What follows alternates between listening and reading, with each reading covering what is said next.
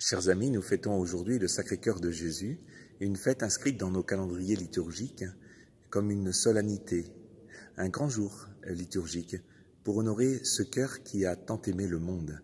C'est le cœur de Jésus. À travers lui, nous y voyons le cœur de Dieu qui bat pour l'homme et qui donne tout pour que l'homme vive. Nous y voyons aussi le cœur de l'homme tourné vers le Père sans péché, puisque c'est le cœur de Jésus. Ce cœur euh, auquel nous sommes invités, nous sommes appelés à ressembler. Nous sommes appelés à nous approcher de ce cœur aimant de Jésus et de lui demander la grâce d'aimer comme lui.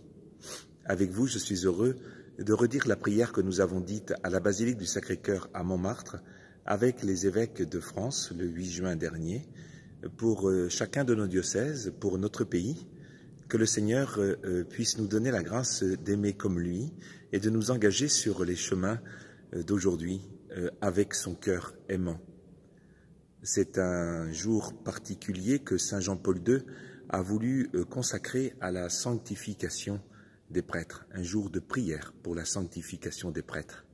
Alors, en ce jour, merci, frères et sœurs, de prier pour nous, de prier pour les prêtres de notre diocèse, de prier pour que nous soyons plus proches du cœur de Jésus. Vous savez combien nous avons besoin de votre prière.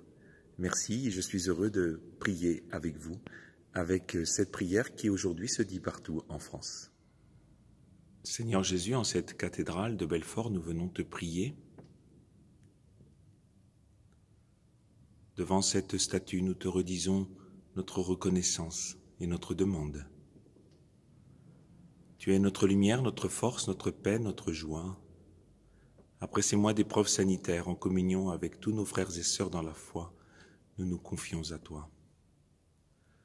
Nous te confions ceux qui sont morts et ceux qui laissent dans le chagrin. Nous venons aussi te rendre grâce et te confier notre pays.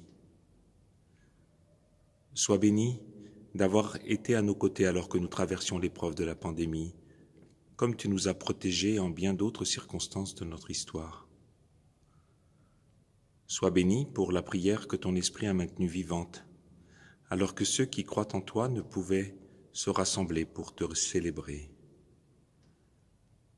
Sois béni pour les multiples gestes fraternels à l'égard des plus démunis et pour le dévouement des soignants et de tous ceux qui, dans la discrétion, ont permis notre vie quotidienne.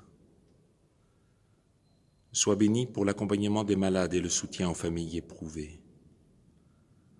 Sois béni pour l'engagement de ceux qui doivent veiller sur toutes les composantes de notre communauté nationale. Nous t'en prions, Seigneur Jésus. Accorde maintenant à tous la grâce du discernement et de la détermination pour mettre en œuvre les conversions nécessaires et faire face aux difficultés économiques, aux défis et aux opportunités de la période à venir. À chacun des membres de ton Église, accorde d'être attentif à tous et d'annoncer ton évangile.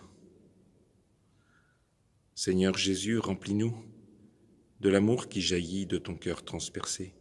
Libère-nous de toute peur. Fais de nous des témoins de l'espérance dont, tu nous as rendus capables, jusqu'au jour où tu nous accueilleras dans la cité céleste. Amen.